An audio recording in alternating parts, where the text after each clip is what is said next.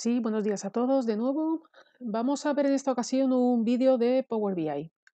Eh, vamos a ver cómo realizar este gráfico que habéis visto en el vídeo presentación, donde vamos a utilizar dos objetos. Este de aquí arriba que viene entre los objetos que vienen por defecto en Power BI y este de aquí abajo que será un objeto que tendremos que descargarnos desde AppSource. ¿vale? Entonces, eh, primero os voy a enseñar cuáles son los datos que vamos a utilizar y este gráfico para qué serviría. Yo tengo aquí esta tabla de Excel con una serie de información que me da información de ventas de tres productos, el producto A, B y C. Cada línea me da información de la venta de un ejercicio diferente, es decir, que yo lo que quiero ver es un análisis de la evolución de ventas de cada uno de los productos desde el año 2010 al año 2021.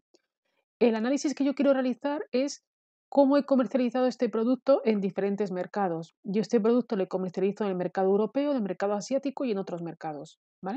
De manera que el total de cuota de mercado me tiene que dar 100. ¿vale? Por ejemplo, el producto A en el año 2010 tuvo una cuota de mercado en Europa del 65%, en Asia del 31% y en otros mercados del 4%, ¿vale? Que puede ser América, por ejemplo, África. Y luego aquí tengo el total de ventas que yo he realizado. Y yo lo que quiero es esta información que la tengo en esta tabla, utilizar un objeto de Power BI para poder realizar un análisis y que el objeto me ayude a analizar esta información. ¿no? Entonces, para ello lo primero que vamos a hacer es esta información, este Excel, esta información, vincularla con Power BI y posteriormente utilizar el objeto que os he enseñado en el vídeo demostración.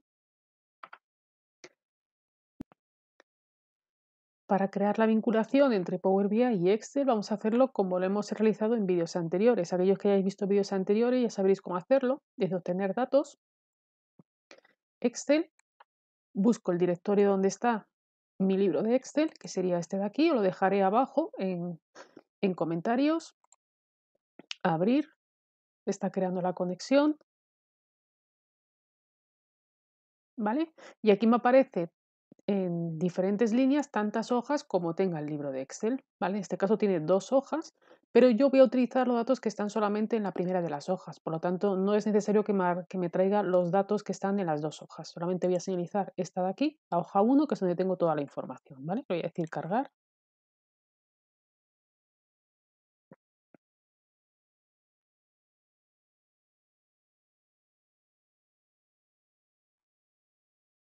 ¿Vale? Y ya tengo aquí en mi apartado de datos, en la tabla, en el icono de la tabla, tengo la información.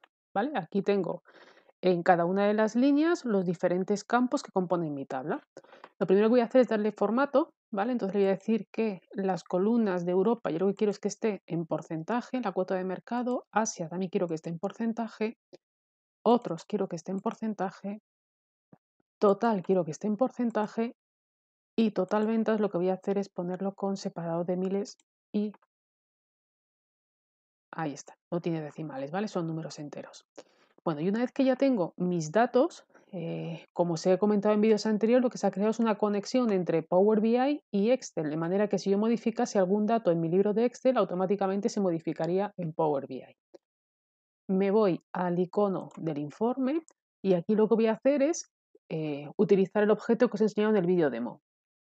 Entonces, en esta ocasión lo que vamos a utilizar es este objeto de aquí, que sería el gráfico de dispersión. Le selecciono, le voy a hacer un poquito más grande para que nos ayude a visualizarlo mejor. Y como siempre que utilizamos un objeto, siempre debajo tres iconos. El icono para, eh, para poder ubicar los campos, el icono para el formato y el icono para el análisis. ¿vale? Entonces, en este caso de aquí, en el primero de ellos, en el icono de campos, hay diferentes opciones para poder ir ubicando los campos que tenemos en nuestra tabla para poder utilizar este objeto. Entonces, lo primero que tenemos que pensar es mm, de cuál de los campos que yo tengo en mi tabla es del que yo quiero realizar el análisis. Es decir, si yo me voy a mi Excel, yo tengo un campo que es el año, que analizo 11 años, producto, que voy a analizar la venta de tres productos diferentes, eh, tres mercados, Europa, Asia, otros, el total de la cuota de mercado para comprobar que los datos son correctos y el total de ventas. ¿vale? Yo lo que quiero hacer un análisis de las ventas.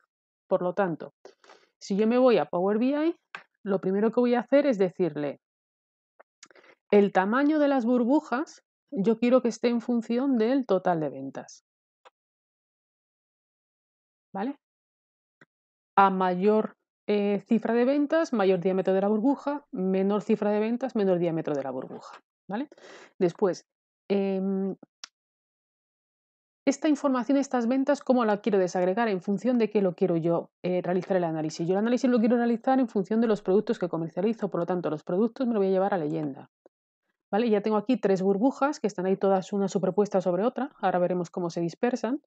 ¿Vale? Y cada una de las burbujas me va a dar información de los tres productos que yo comercializo.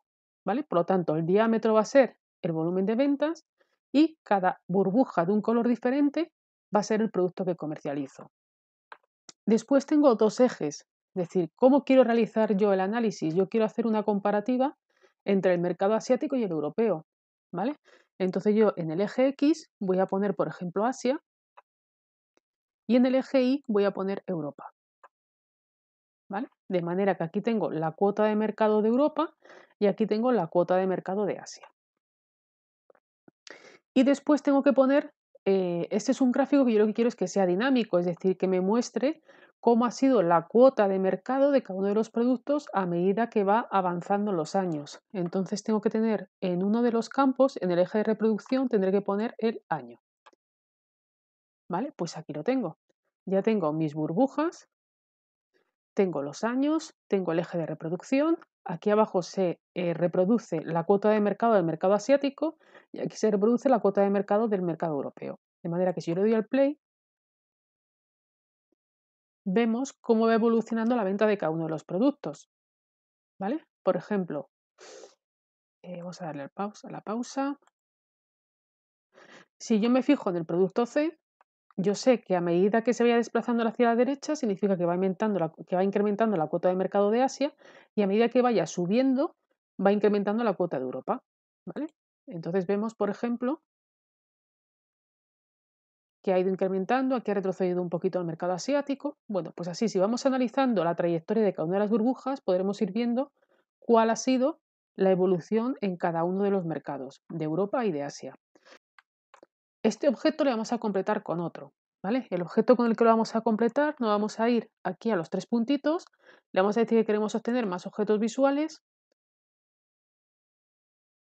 nos vamos a ir a App Source y aquí vamos a buscar, eh, vamos a escribir Play Axis, le vamos a dar a la lupita y este de aquí es el que vamos a utilizar, ¿vale? Play Axis Dynamic Slicer.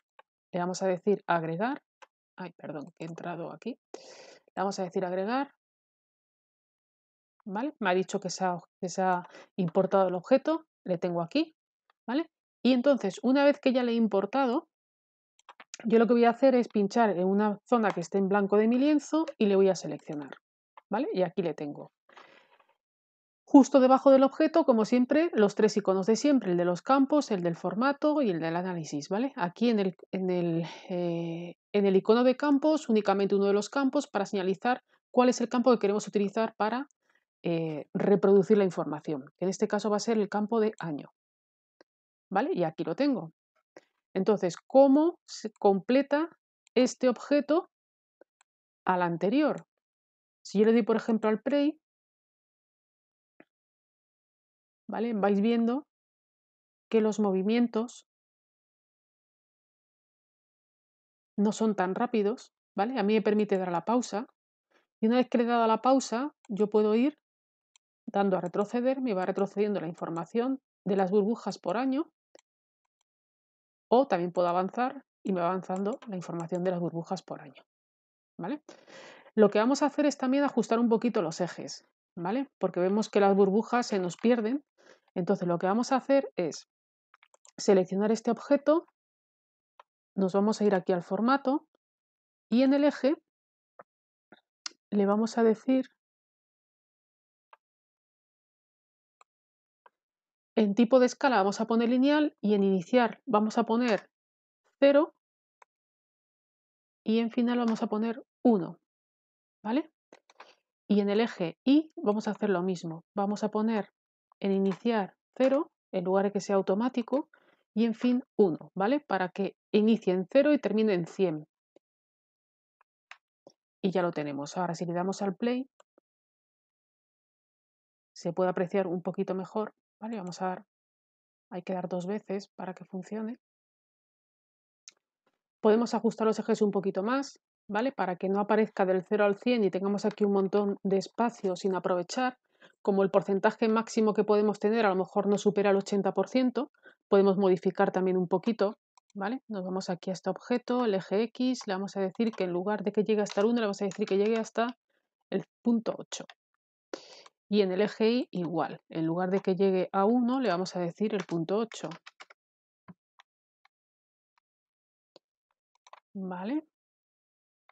¿Qué más podemos hacer? Luego, si os dedicáis a ir cada uno de los apartados, vais viendo, por ejemplo, en color de datos que yo puedo cambiar el color que le quiero dar a los diferentes productos, ¿vale? Por ejemplo, el producto A le puedo poner un tono naranjita, el producto B le puedo poner un tono azul y el producto C le puedo poner un tono gris, por ejemplo.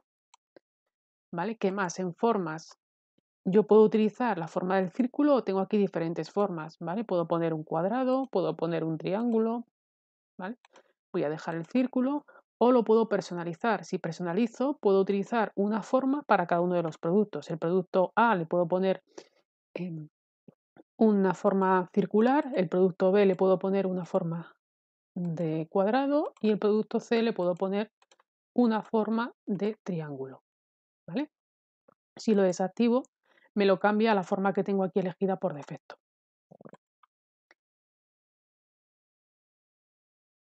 ¿Qué más? Eh, esto respecto a eh, este objeto de aquí, el de arriba del todo, ¿vale? Podéis también ir aquí eh, viendo las diferentes opciones, ¿vale? De información, del título, si queréis personalizar el título, podéis escribir el título que queráis. Bueno, esto es, ir, sencillo, ¿vale? Es ir probando un poquito las diferentes opciones que nos dan. Si me voy al objeto de abajo, yo aquí también tengo diferentes opciones, ¿vale? Le puedo decir, por ejemplo, en Colors, ¿vale? Si le doy a activar, pues cada uno de los diferentes comandos me lo puedo poner en un tono diferente. Bueno, esto ya es sencillito, ¿vale? Es cuestión de que vayáis, ir que vayáis probando y, que lo dejéis como, como estéticamente más os guste. Pues nada más, espero que os haya resultado de utilidad. Si ha sido así, os agradecería que le dierais a un like y espero veros por aquí en próximos vídeos. Muchas gracias y que tengáis un buen día.